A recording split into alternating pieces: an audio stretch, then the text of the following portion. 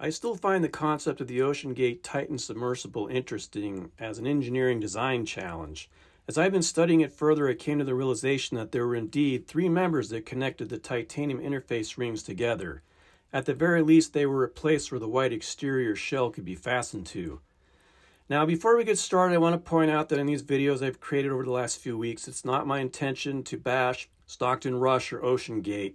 I'm just seeking to understand more completely how it was made and what the possible weaknesses of the design were besides the most obvious one.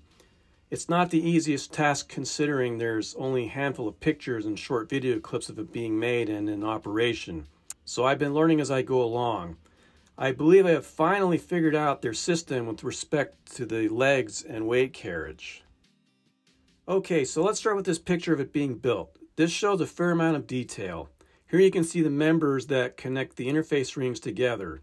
It's not clear to me if they were meant to be anything other than a place to fasten the shell to, but they look substantial enough that they may have been intended to be a structural element to add some rigidity to the framework system. There are three of them at 90 degree intervals. Note that there is no such member under the belly as can be seen here.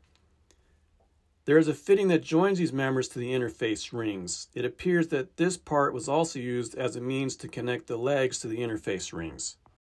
There were framing members that went under the belly that connected to each of the side rails. Its purpose was to hold the ballast. You can see some lead weights hanging from that in this picture. If I understand correctly how all of this worked, this ballast cage could be dropped from the sub by means of two hydraulically actuated pins. It appears that it was basically a rack that was made to hold several pieces of heavy steel pipe. In this view here, there are additional steel pipes hanging from this cage.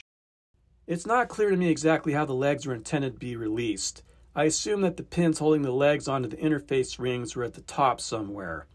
These were apparently pneumatically actuated, which in my mind does not provide sufficient strength to do the job, especially not after several dives when parts could be all crusted up. This leads me to believe that perhaps one of the legs did not detach when they were performing their emergency protocol to drop the legs. When dropping the legs, the skid frame assembly should in theory detach as one piece. Here are the legs on the sub for reference. There seems to be other things attached to it as well, but I'm not sure what they are.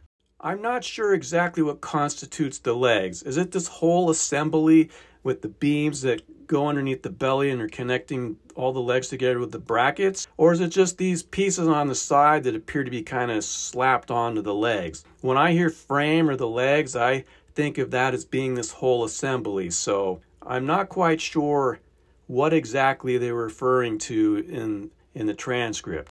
So what if one of those pins malfunctions and the legs don't all detach? Let's revisit the transcript. Multiple attempts needed when they were trying to jettison the frame.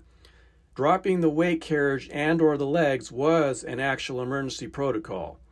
It's interesting to note that in the footage of the debris recovered, one of these legs was missing.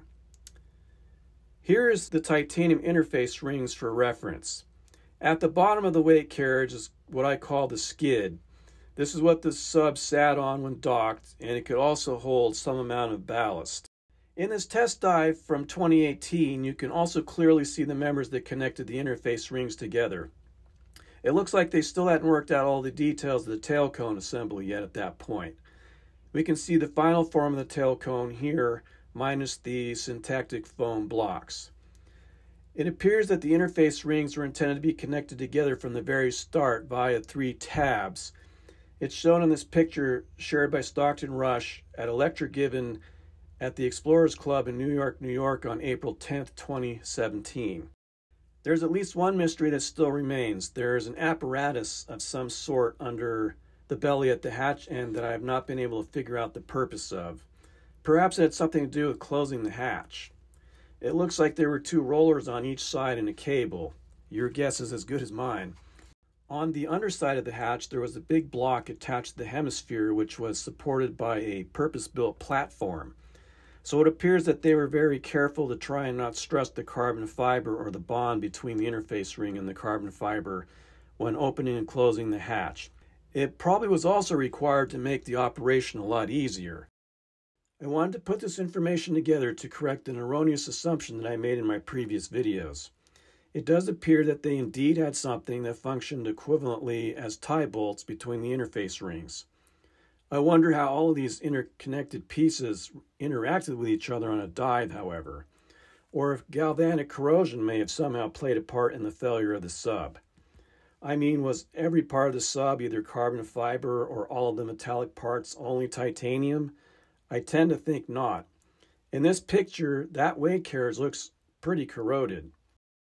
So while on the surface it would appear to be an innovative design, there's just a mountain of potential problems that could arise besides the obvious one, the mating of carbon fiber with titanium.